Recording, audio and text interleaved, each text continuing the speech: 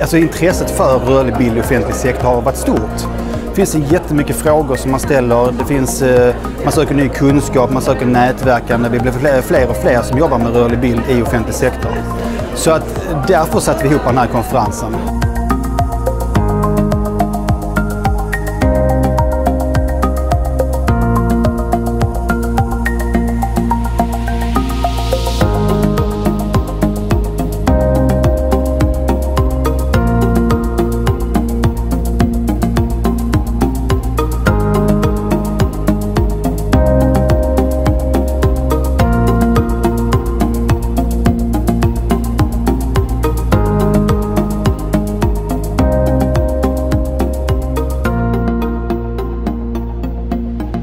Just att göra en konferens som är gjord av oss själva till oss själva. Där vi sätter agendan, där vi sätter innehållet.